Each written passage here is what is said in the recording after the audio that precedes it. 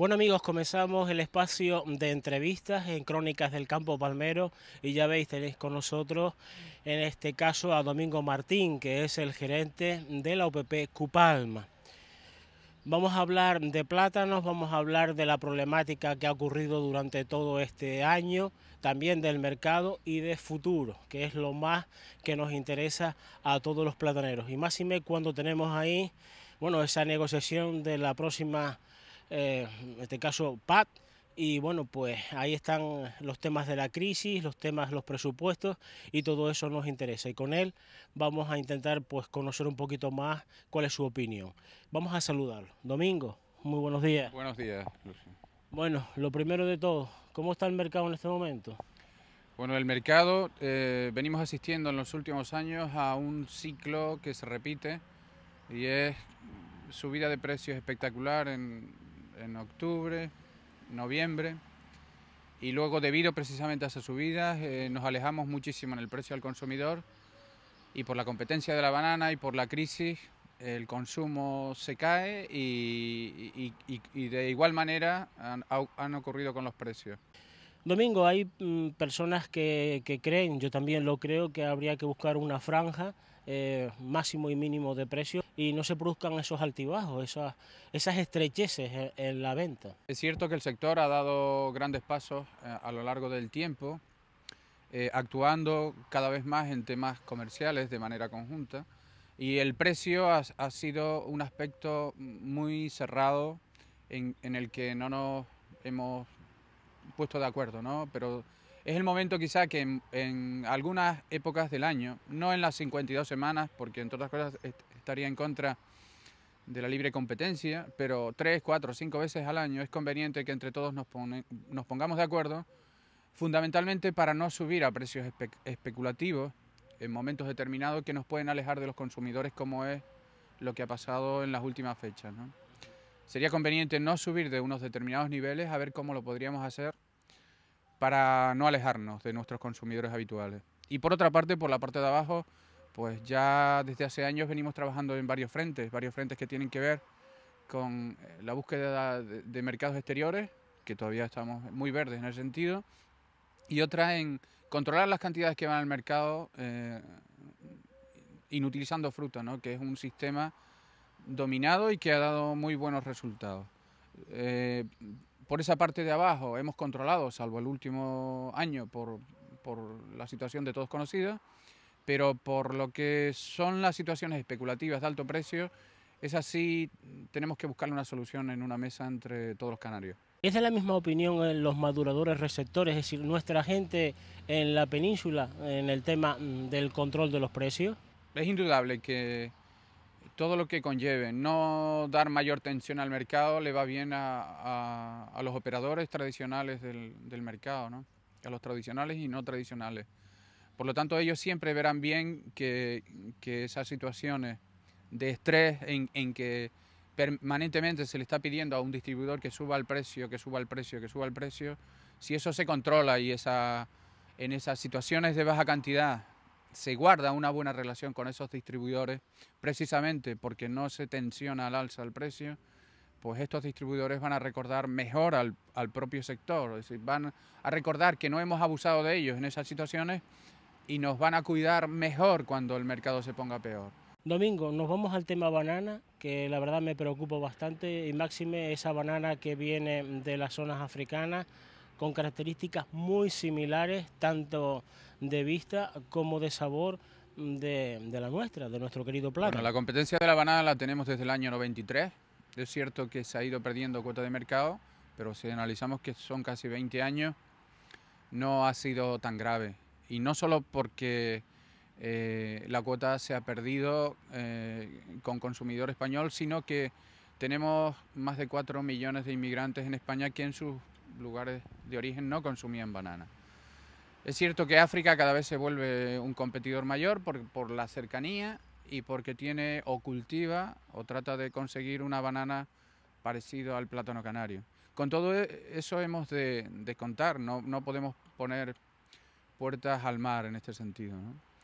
Eh, para ello, ¿cómo se puede combatir? Con, con más calidad, con más unión del sector, con más publicidad Y, eso de alguna manera nos ha dado resultado y no tiene por qué en el tiempo eh, cambiar de manera radical. Tenemos que, cambiar, que cuidar nuestro mercado tradicional, abrir algún mercado nuevo, cuidar esa calidad, eh, procurar tal vez volver a, nuestra variedad antigua o, alguna similar, porque es la que nos hace diferente. Y, nada, en este sentido eh, creo que tenemos un producto competitivo para bastantes años si trabajamos en esa línea de la unión del sector fundamentalmente. Domingo, mm, hay un tema que la verdad me preocupa. Yo pienso que hemos sido en un sentido bastante consentidores en el hecho de que bueno pues los países ACP puedan entrar eh, bueno como Pedro por su casa en el mercado europeo y lo digo porque eh, muchas de las multinacionales que están establecidas en Iberoamérica se han desplazado a África y a zonas y a países que, son países ACP y que ahora eh, en un principio pues están llegando pues muy bien sin pagar aranceles al mercado europeo también a nuestro país tienen distancias más cortas inclusive, bueno, pues producen plátanos, como decíamos antes, o bananas muy similares a las nuestras. Es decir, al final han ganado terreno. Han ganado terreno, pero fundamentalmente porque estos países tienen una vieja relación con países con potencias agrarias en Europa, como es fundamentalmente el caso de Francia, y, que en el caso de ellos se ha dividido su actuación, una actuación de defensa de sus producciones en Martinica y Guadalupe y por otra de defensa de sus inversiones en estos países, porque no nos olvidemos que en la gran mayoría de los casos son los propios franceses los que están produciendo en estos países. Eh, ¿Qué es un inconveniente? Sí, pero de alguna manera el, que estén tutelados por, por Francia también, por otra parte, nos, nos ayuda a pensar que nunca se llegaría a niveles de competencia demasiado altos porque actuaría en, en, su propio, en contra de ellos mismos con sus zonas productoras de Martinica y Guadalupe. Si te parece, nos vamos a políticas europeas, mm, nos vamos con la política agraria común, esa negociación que, que comienza ahora a partir del 2013 ya para bueno, pues sentar las bases presupuestarias 2014-2020. ¿Cómo están las cosas y cómo lo ves? En este momento se trata de, negociar el periodo 2013-2020 a nivel europeo. Eh, yo en esto soy optimista, por una parte porque el plátano ha quedado fuera de las políticas agrarias centrales y, queda remitido en el paquete POSEI y de alguna manera eso puede hacer que escapemos al debate central de esos presupuestos. Por otra parte, hay que pensar también que algunas potencias europeas eh, consideran a Canarias como su refugio de vacaciones y les interesa tener una zona estable. Y esta zona estable es relativamente o, tiene un consumo pequeño de los presupuestos europeos.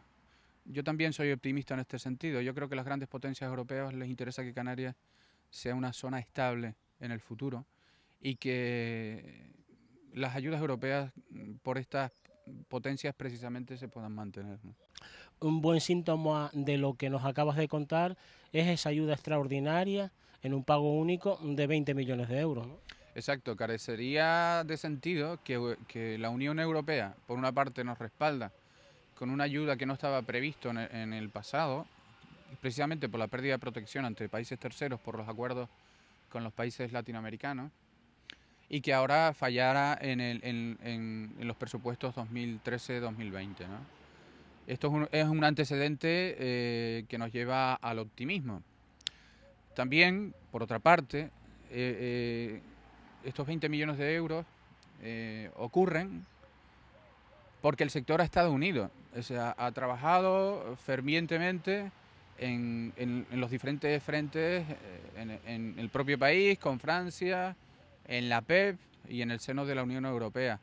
Esto se hace precisamente por eso, porque Canarias, Francia destinamos presupuestos a que personas se muevan y diferentes eh, organizaciones se muevan para conseguir esto.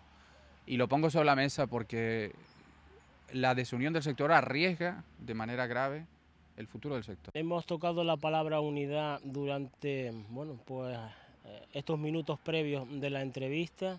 Después entraremos un poco a analizar qué es lo que ha pasado, cuáles son la problemática, el por qué no se ha llegado todavía a un acuerdo, cómo van esas negociaciones ahí auspiciadas por la consejería. Pero antes vamos a hablar de Asprocan, si te parece. Eh, muchos son los críticos que hablan de que, bueno, habría que mejorar Asprocan. Yo me imagino que cualquier platanero, incluido usted mismo, también le gustaría mejorar Asprocan. Eh, por supuesto, pero no olvidemos que Asprocan son las cinco o seis organizaciones de productores. cada organización de productores decide con qué, con qué colabora con Asprocan. Las decisiones en Asprocan las toman las organizaciones de productores. Somos nosotros mismos los que tenemos en la mano mejorar Asprocan. Es indudable que la profesionalización de Asprocan es fundamental para el sector y yo creo que esos pasos se han ido dando en el tiempo. Asprocan ha mejorado eh, mucho sus actuaciones de manera lenta, pero ha sido porque las opiniones de, las organizaciones de productores, que son quienes mueven Asprocan, han ido poco a poco aunando criterios de profesionalidad. Eh, es indudable que hace que si hace tres años se puso una persona en Península para tratar de alguna manera guiar al sector, fue una decisión de profesionalidad, que esta figura se debe reconsiderar y volver a, buscar una persona adecuada para ello. Hoy creo que tenemos un, gerente profesional y que se debe apoyar, además de esto, continuando con las acciones que hacemos conjuntamente con, el control de cantidades en el mercado, que ha posibilitado que no existan desde hace años precios negativos en Canarias.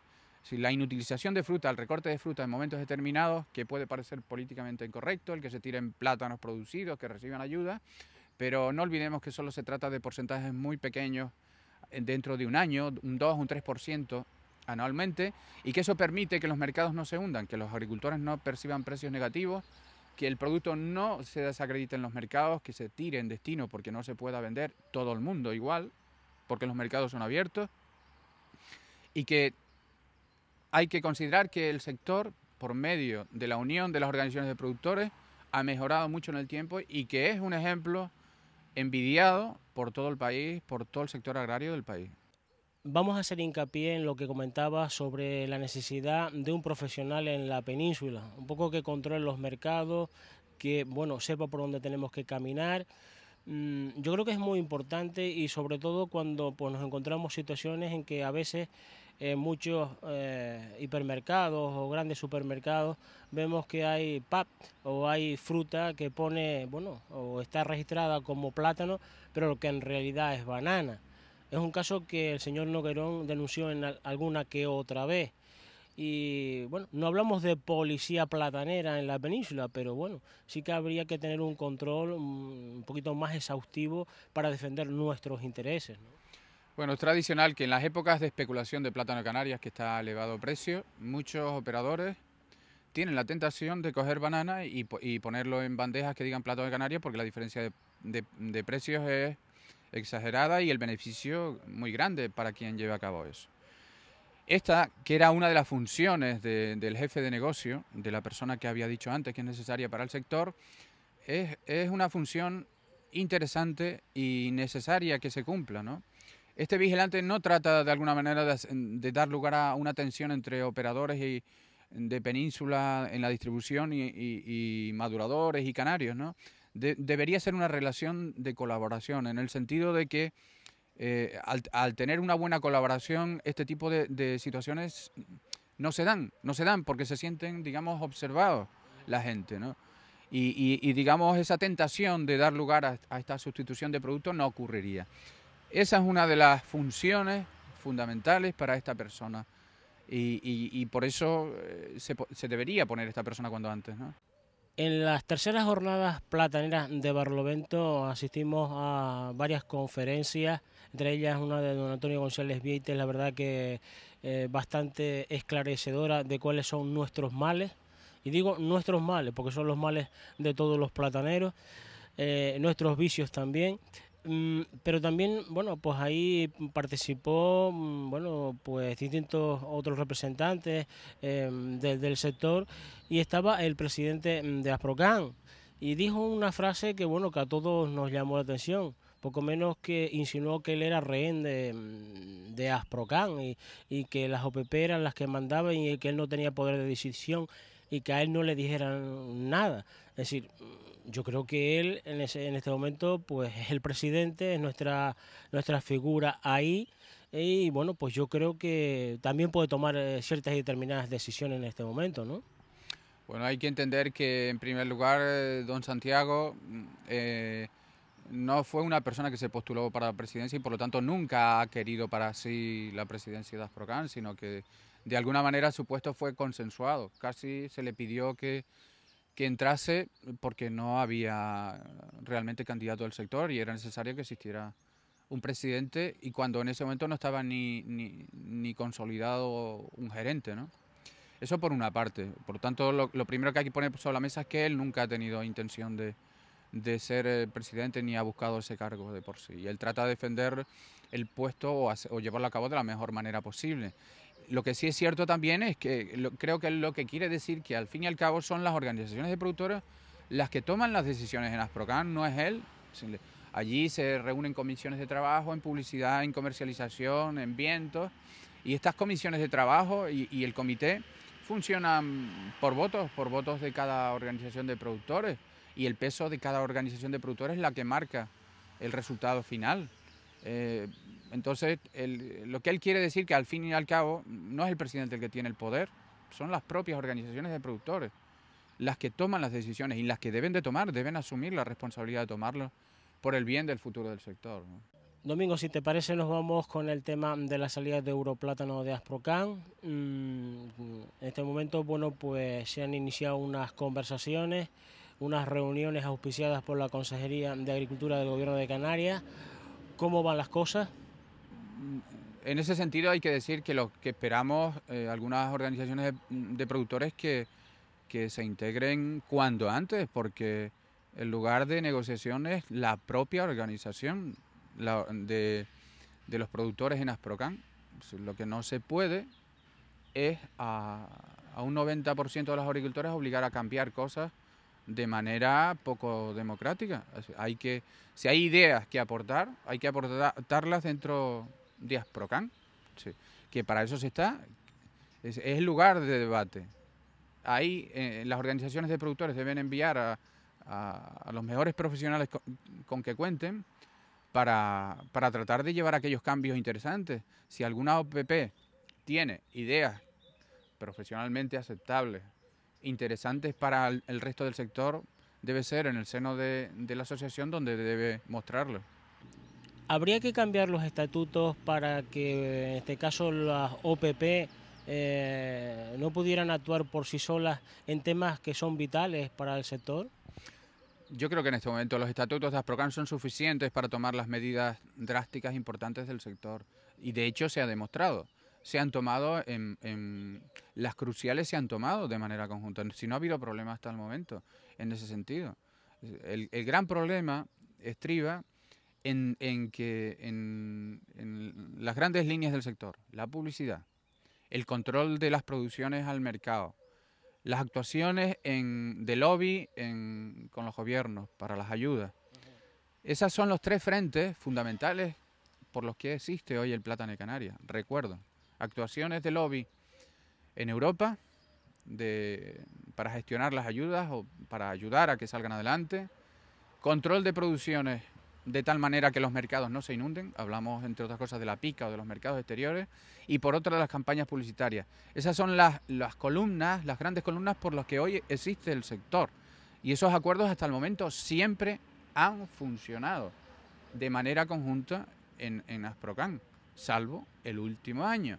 Esa división es la que puede arriesgar al sector y los estatutos son más que suficientes para eso, pero claro, estando dentro de Asprocan, estando dentro, si uno se marcha afuera y hace lo que le, dé la, le da la gana y afecta al conjunto, de poco tienen que ver los estatutos. De alguna manera es una organización voluntaria, no es obligatoria Vamos al meollo de la cuestión porque la verdad que desconocemos eh, bueno cuáles eh, esos puntos de fricción que se producen entre la OPP Europlátano y las otras OPP eh, se habla por parte de Europlátano, entre otras cosas, de, que quieren tener sobre la mesa todas las facturas, eh, en este caso sobre todo las facturas mm, de la publicidad bastante detalladas. ¿Es que ahí no se presentan las facturas? Que el representante de Europlátano Asprocan fue tesorero durante muchos años de, de y las facturas las veía, el, creo que si no es el primero, la segunda persona que las veía era el propio tesorero.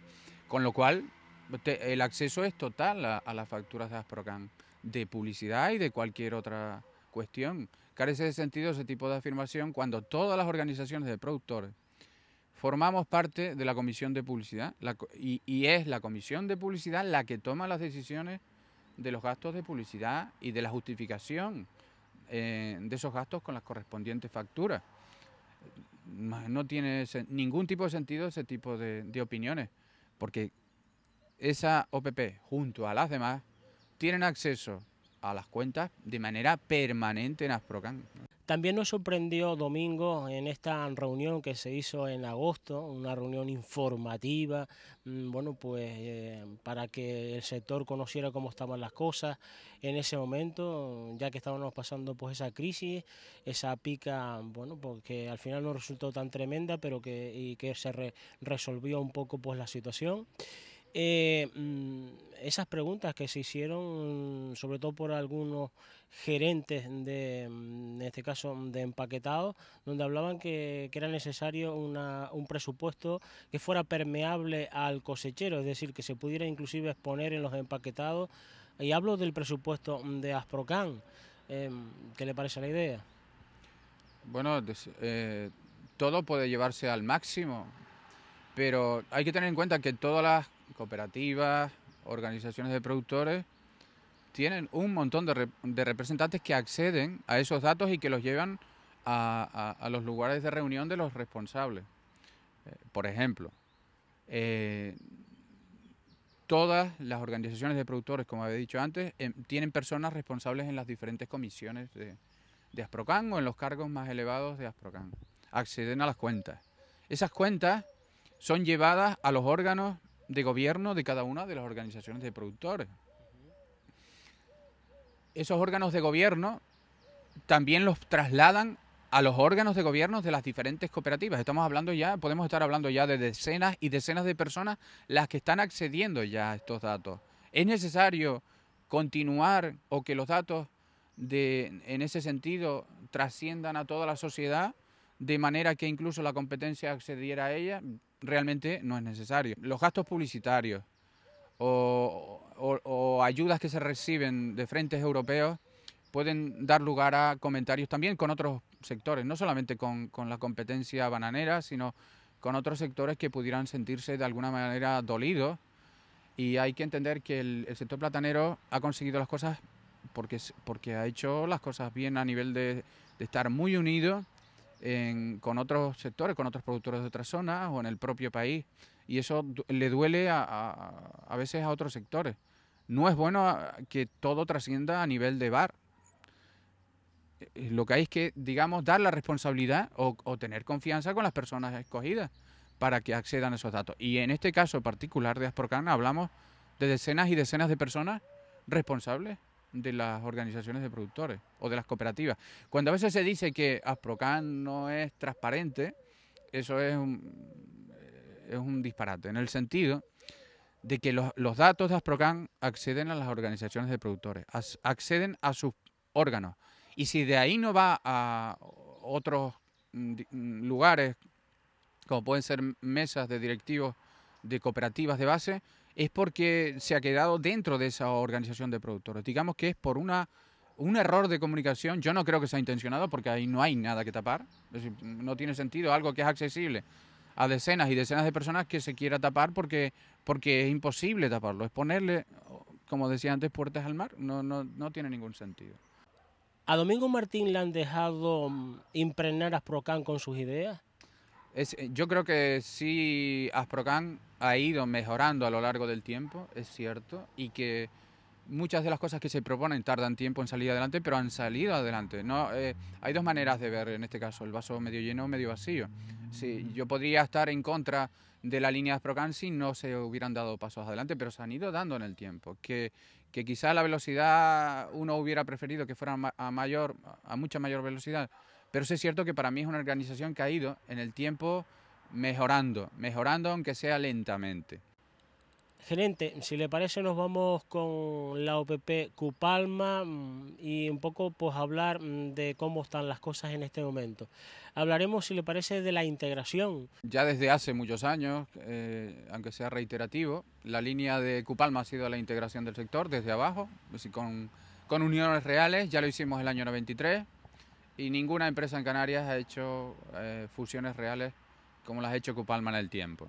La última operación que hicimos hace un par de años, que daba lugar a una concentración del sector cooperativo y de agricultores muy fuerte en Canarias, eh, pretendía una posición de fuerza en el mercado, hacer una imagen de marca fundamentalmente de un producto de La Palma, como ustedes ven que hemos tratado de desarrollar el plátano de La Palma como producto de una calidad fundamentalmente por su eh, tiene un amarillo particular, eh, el amarillo del plátano de La Palma por, por el agua y queremos eso explotarlo de alguna manera, sin ser, digamos, despectivo con otras islas, pero sí es verdad que tiene un valor añadido.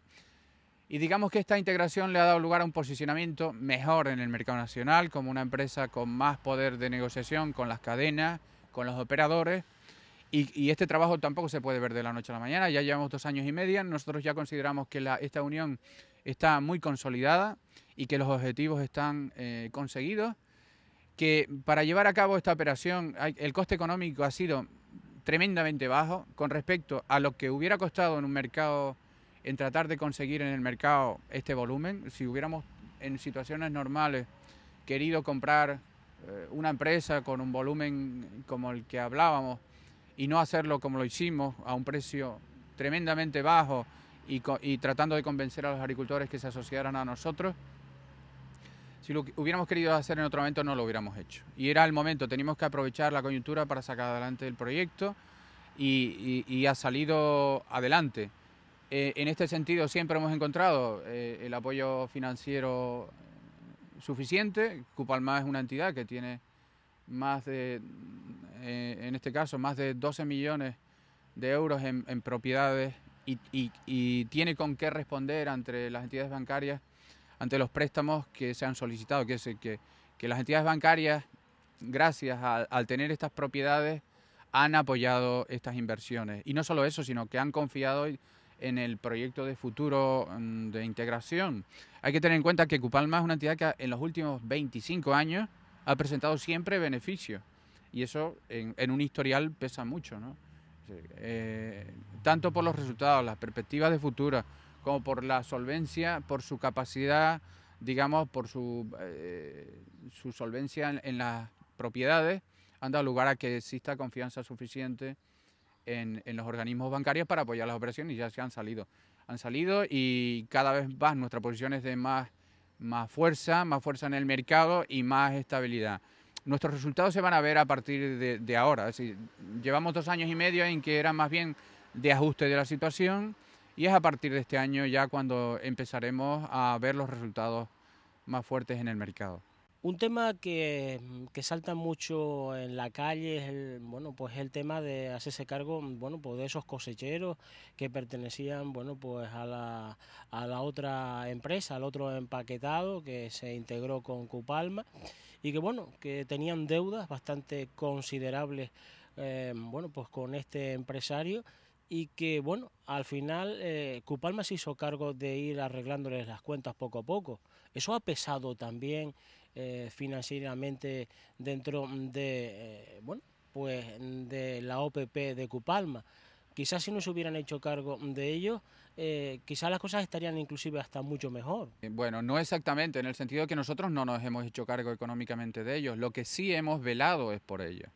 Lo cierto es que en el momento que nosotros, mm, digamos que hicimos la operación, eh, pocas fechas después, si nosotros no hubiéramos entrado, esa empresa hubiera cerrado. Los agricultores se hubieran quedado con deuda probablemente de 7 o 8 meses, definitivamente, porque casi sin ninguna posibilidad de, volverlas a cobrar, y, más de 100 trabajadores tuvieron empleo. La realidad hubiera sido totalmente diferente. Hoy todos esos trabajadores estarían en la calle, en la calle o trabajando para otras empresas y los agricultores hoy hubieran dejado de cobrar esos 7, 8 meses que tenían pendientes.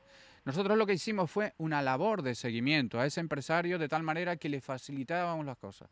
Le enviábamos productos para que pudiera tener negocio y luego, por último, cuando vimos que ni siquiera tenía capacidad para, porque su intención estaba ahí, pero no iba a tener capacidad de pagar a, los agricultores, optamos por tratar de, facilitarle la venta de su negocio central en Alicante para poder pagar de esa manera. Y así fue, él encontró un comprador y, después de haber pactado con ese comprador, eh, digamos, se ha ido, ha ido, parte de, la de, esa deuda al, haberle comprado está destinada a pagar a los agricultores y con un plan que semanalmente se están recibiendo del orden de 35 o 40 mil euros y se van pagando poco a poco. Con lo cual, aquí el objetivo que nosotros teníamos al principio de todo esto, que era concentrar, pero también resolviendo los problemas a trabajadores y agricultores, se ha ido consiguiendo con un gran esfuerzo. O sea, aquí hay detrás de esto muchas horas de negociación, muchas, muchas visitas a Alicante, eh, muchas reuniones con abogados para poder sacar esto adelante. Perdona Domingo, ¿son conscientes mm, esos cosecheros a los cuales pues se ha tenido esa deferencia de el, trabajo y el esfuerzo que ha hecho la OPP eh, con ellos? Cuando digo que si son conscientes eh, me refiero a que pues por esa lealtad han permanecido en la OPP. Bueno, hay de todo, ¿no? Habrá agricultores que son conscientes del trabajo hecho, que ha sido arduo, y hay quien cree que, este señor les iba a pagar eh, por las buenas, y no es así. intención tenía de pagar, pero no iba a poder económicamente salir adelante de ninguna manera si nosotros no le echamos una mano desde un punto de vista comercial y durante todo este tiempo. Eso está claro. Eh, todos los agricultores que tienen dedos hoy pendientes y que en el futuro cobrarán, eh, sepan que sin nuestra labor de estar ahí continuamente detrás del caso no hubiera salido adelante. Eso es así. ¿eh? Bueno, pues hablamos en este caso de los empaquetados mm, de la OPP, mm, que yo creo que es un continuo y, trabajo de inversión, de adecuación, de mejora, de prioridades, donde se intenta ahorrar eh, costes y buscando pues una gestión eh, más sencilla y económicamente rentable. En, en todo este proceso de integración, una de las cosas que primero cuidamos fue que tuviéramos no tener personal sobrante. Eso en los primeros años se solucionó eh, y, en, este momento ya estamos, digamos, eh, con un personal adecuado a los volúmenes que tenemos.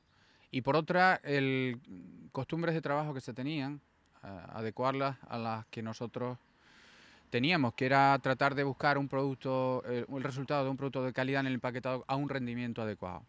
Todo eso se ha ido dirigiendo y dirigiendo y hoy los empaquetados están muy integrados con los sistemas. Por eso decía que a medida que el tiempo ha ido pasando, la integración facilita que los resultados sean mejores.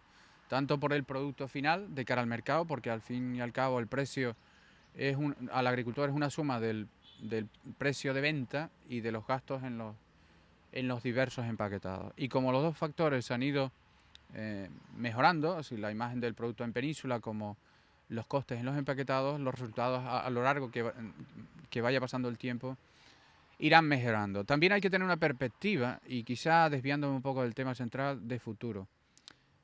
Hay que preguntarse qué organizaciones de productores van a, estar, aquí en, el futuro.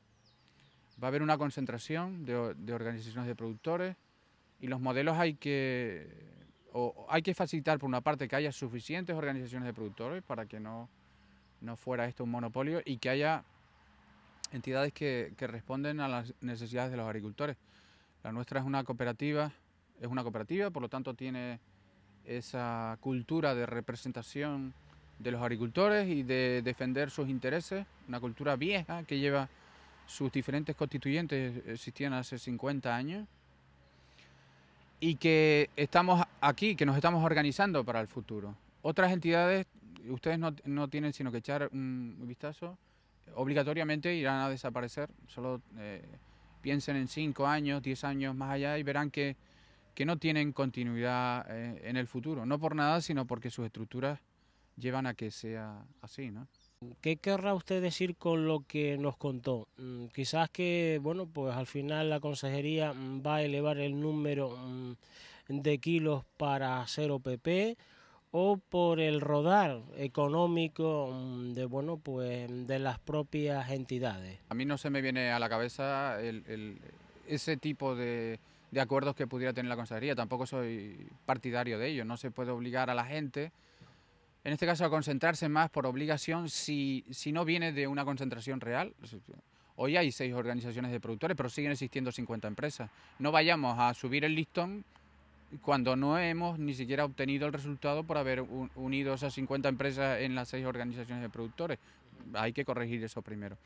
Lo que quiero decir es que hay varios modelos, por ejemplo, eh, eh, todo el mundo observa que, las entidades privadas con el tiempo, cuando eh, vayan habiendo cambios generacionales, pues sencillamente no existirán. Y veamos cómo han ido desapareciendo esas organizaciones de la isla de La Palma, cuando ya han desaparecido en otras islas.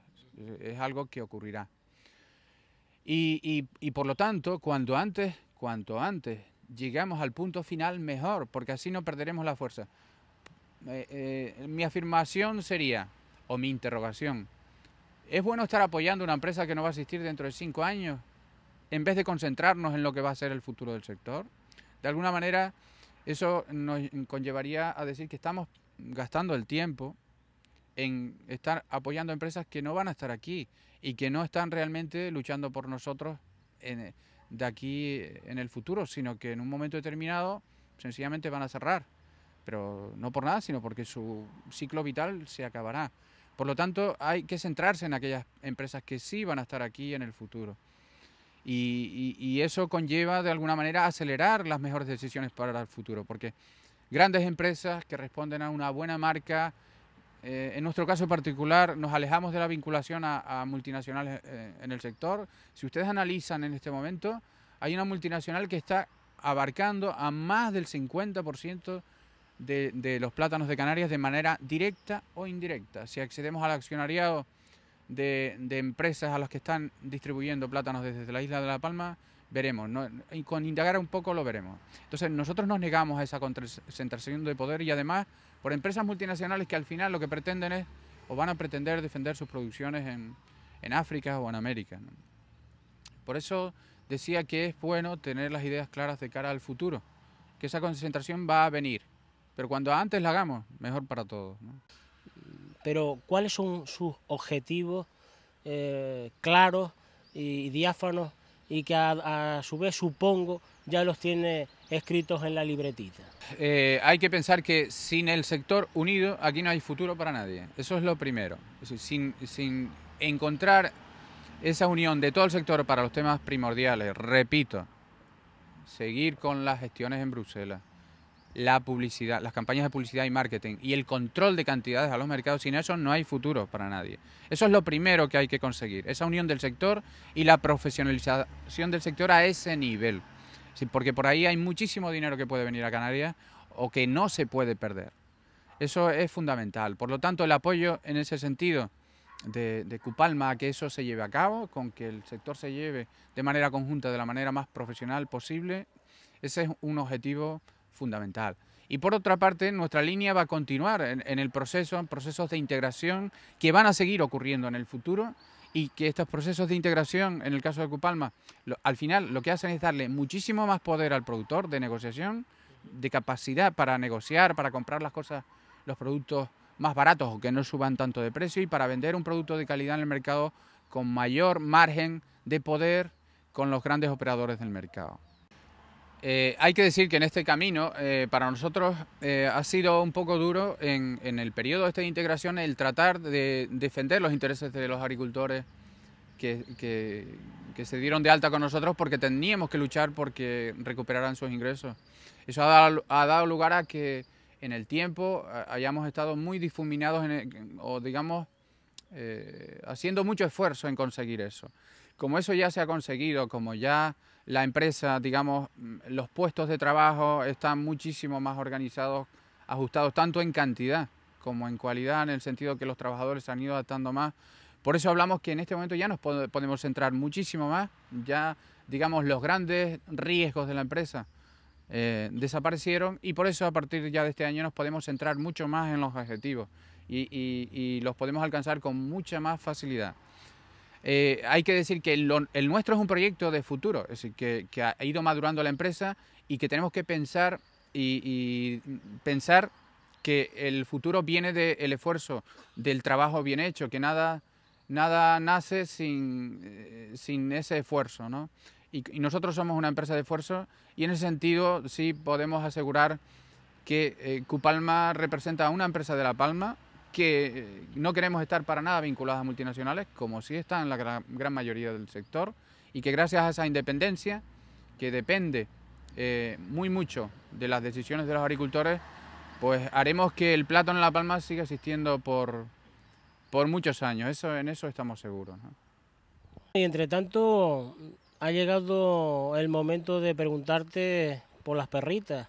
Eh, a final de año pues nos llega esa primera partida mm, de la ayuda compensatoria al plátano y bueno, ya desde el jueves mm, día 13 se ha publicado en el Boletín Oficial de Canarias, bueno, pues que mm, se firma por parte del consejero pues ese, esa ayuda.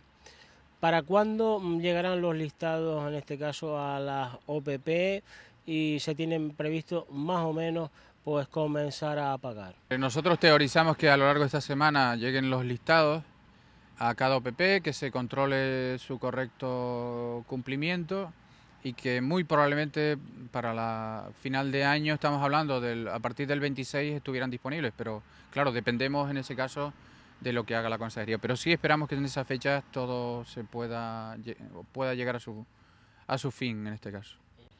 Domingo, mm, en realidad sí es verdad que está bastante necesitado el sector mm, de esta ayuda, inclusive diría más, toda la sociedad palmera. ¿no? Obvio que en estas situaciones de crisis general, de todos los sectores productivos de, la isla, ¿no? el que de, alguna manera un sector eh, tenga una cierta estabilidad, pues le da un, nivel de, tranquilidad o pseudo optimismo bastante elevado.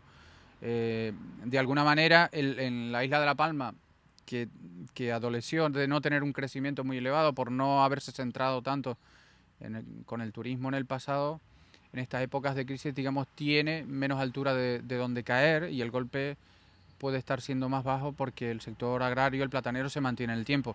Que vuelvo a insistir, ocurre porque el sector ha estado unido en el pasado. No nos olvidemos que las ayudas se pudieran perder por falta de esa unión y que tenemos que seguir unidos en el futuro para, para defenderla, para justificarnos ante Bruselas, que deben seguir existiendo en Canarias 10.000 agricultores, que desde que esas cantidades bajen no seremos socialmente interesantes. Y no nos olvidemos de eso, no nos olvidemos de eso, que, el, que los árboles no nos dejen ver el bosque, ¿no?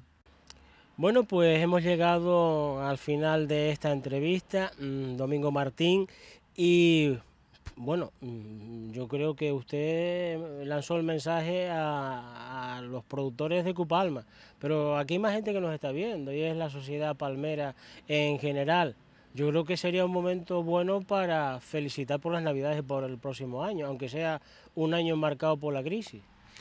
Pues sí, bueno, siempre en esta época es positivo recibir felicitaciones en general, ¿no? Y, el, aire ese navideño a todos nos impregna un poco de mayor sensibilidad que debería extenderse a todo el año. Y yo me gustaría felicitar a, todos los palmeros y, aunque suelen ser épocas tristes para muchos, también son épocas de, de recuperación porque la naturaleza humana permite recuperarse a todos aquellos que hayan perdido a seres queridos en, este año. ¿no? Y, nada, que el sector platanero siga hacia adelante, que puede seguir y seguramente seguirá si esa unión continúa en el futuro y que debemos luchar por esa unión. Y nada, felicidades a todos los palmeros. Pues muchas felicidades a toda la familia de Cupalma y a usted y a su familia también. Vale, muchas gracias.